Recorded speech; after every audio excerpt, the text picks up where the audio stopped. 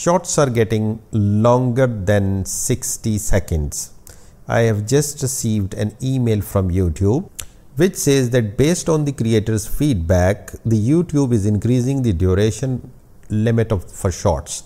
Starting October 15th, you would be able to upload the shorts longer than 60 seconds and up to 3 minutes. Any video you upload before 15th October will stay the same and remain as a long form video on your channel even if they are in vertical orientation and if you are uh, into the YouTube Partners program, they will continue to be monetized through the watch page ads. However, after 15th October, you can upload shorts up to 3 minutes long using square or vertical videos via YouTube Studio app or desktop.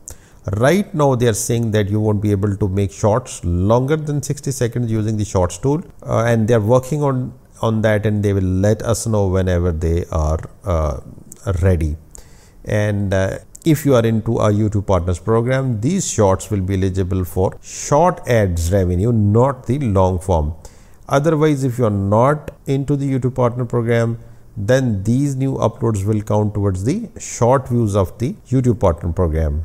Um, another important thing is that regarding the copyrighted content that are used in the shorts video, you cannot use the copyrighted music or visual content in the shorts longer than 60 seconds. If you do happen to upload 1 to 3 minute shorts with the copyrighted content it will be blocked and viewers won't be able to watch it.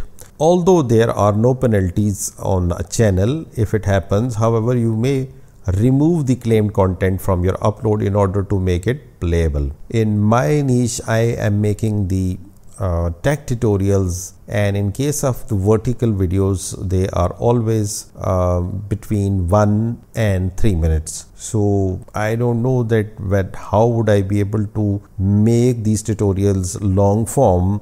Just give me an advice what to do